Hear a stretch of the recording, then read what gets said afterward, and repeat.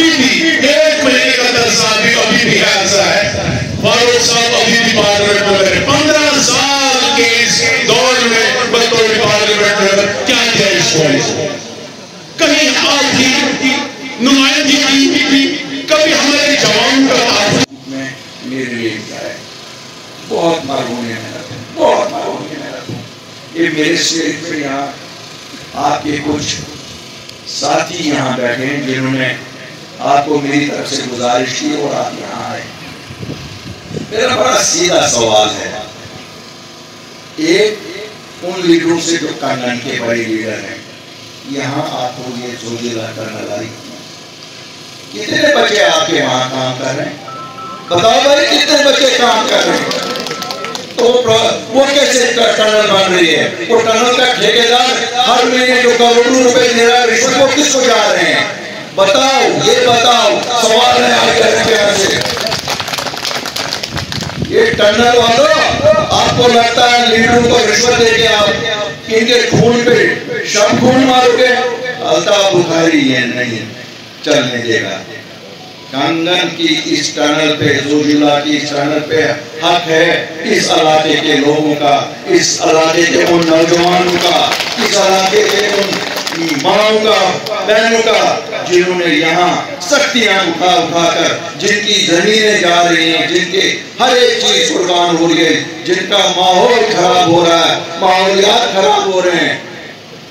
لیکن چند پیسے ہر مہینے یہاں کے کچھ ٹھیکے داروں کو دے کے آپ سوچتے ہو کہ آپ نے کانگن کی آبادی اور گاندربل کی آبادی کو خرید لیا ہے؟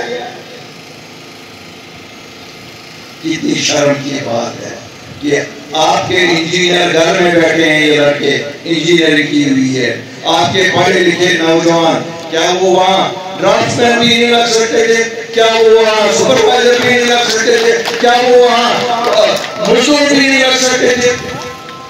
کیا بات کرتے ہو؟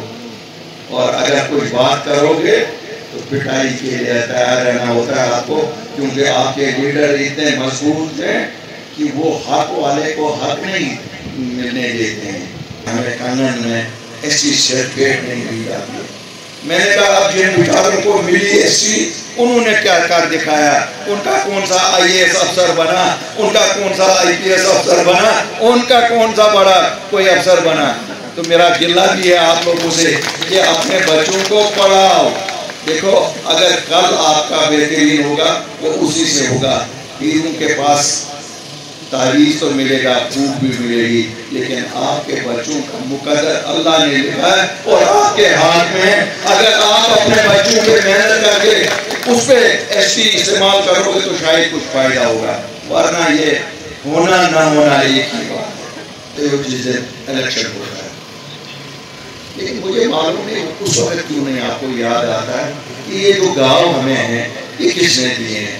آپ جب کہتے ہو، بات کہتے ہو بھائی جناب، ہمارا پانی، ہمارا بھی چشمہ اور ہمیں فیس دینی پڑتی ہے۔ آپ کا حصے کا پانی اور آپ کو بجلی فیس جہاں آپ چار مہینے رہتے ہو، ایک سال کا بھرنا پڑتا ہے۔ تو آپ کے لیڈروں کو چپی کیوں سازی ہوئی ہے۔ ان کو کیوں نہیں تکلیف ہو رہی ہے کہ آپ لوگ چار مہینے کا استعمال کرتے ہو اور بارہ مہینے کی فیس آپ سے لی جاتی ہے؟ یہ شرم کی بات ہے۔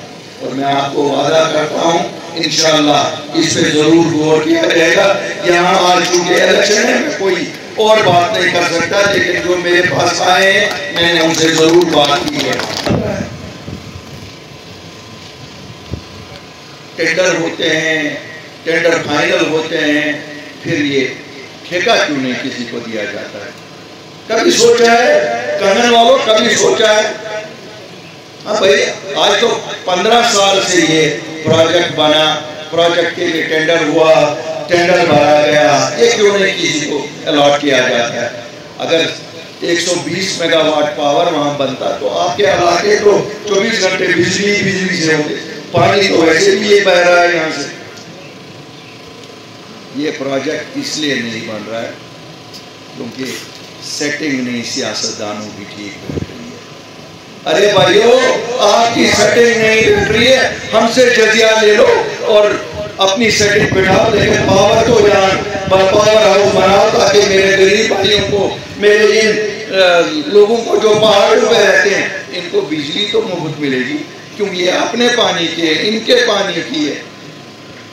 کب تک ہم انتظار کریں گے؟ وزیر اعظم صاحب، آپ تو کہتے ہو میں کرپٹ لوگوں کو جگہ نہیں دوں گا۔ لیکن ہم نے تو نہیں دیکھا یہاں کسی کرپٹ آدمی پہ آپ نے کوئی ایکشن لی۔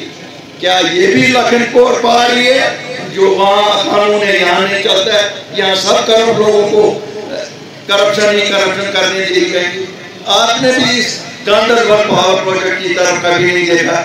آج تو سات سال سے وزیر اعظم صاحب آپ کی جماعت یہاں کر حکومت چلا رہی ہے۔ یہ تو بن بھی گیا۔ ہوتا ہے کتنے شرم کی بات ہے۔ کہ ہمارے لیے جو جموں کشمیر کے لوگوں کے لیے کوئی فائدے کی بات ہوتی ہے، اس کے لیے کوئی پہل نہیں کرتا۔ بڑی اچھی بات ہے۔ یہاں امرناتھ یاترا جاتی ہے، ہمارے کندھوں پہ جاتی ہے۔ ہم میزبان لوگ ہیں، ہمیں فخر ہے، ہم میزبانی یہ بات ہے۔ لیکن یہ کیا وجہ ہے؟ وہ بھی کچھ چند ٹھیکیداروں کے ہاتھ میں جو مزدور، اس